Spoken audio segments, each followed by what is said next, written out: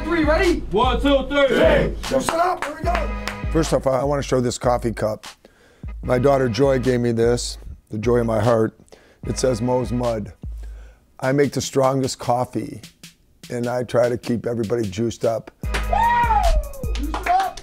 That's just what Coach Miles needs, some stronger coffee to make him more juiced up. But so we name it Moe's Mud, so that's a special cup. Chase Mo, they get into it, make them dribble. You're much stronger. His famous line is "Juice it up." Let's go, boys! Juice it up. I'm not sure what that means, okay? But uh, but I, I understand. We got to get some energy, some juice going.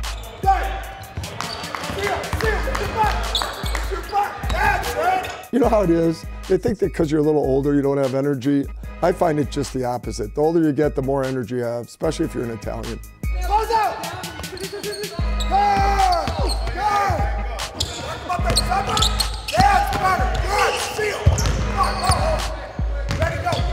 If you know the name Jim Molinari in coaching, you know this guy is an excellent teacher in team defense and individual defense. And you know that immediately by his energy level. A, he's really got a, a tremendous personality. You know, he's an Italian uh, who is proud of his heritage. I always say if I die quickly, Jim Molinari had me killed. Uh, he just did a total whack job on me. He got uh, Rocco and Knuckles from Chicago to come in and put me in the river. So um, just want that on public record. But uh, Mo is a guy that is, I mean, is got such a servant's heart. He's such a good person. He, he will do anything for our guys, whether it be individual meetings or certainly teaching them uh, the game of basketball or the game of life in a better way.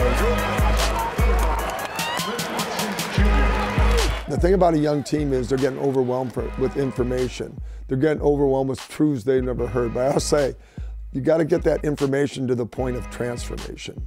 You know, if it's just information people have, it has no impact. So what you're trying to do is get them to buy in so it becomes transformation, and then you have something special going. And I really think that's what's going on with their program. The point if Glenn doesn't get this done here. Yeah. I think the first thing you got to know is realize what you don't know.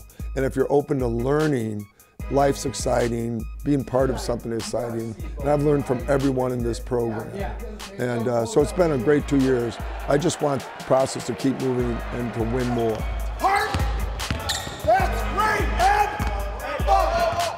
Not many guys would leave a head coaching position with over 300 wins to join us and, and help make our program better. And he is committed to Nebraska basketball in a way that you can't replicate very often.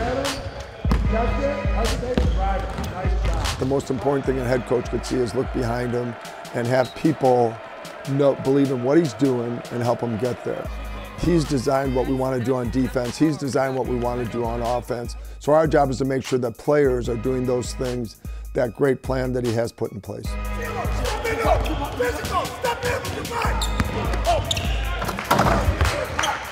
Mo is a great guy, uh, great heart, and so good for our program. I'm just so thankful to have him with us and working with our guys and our coaches every day.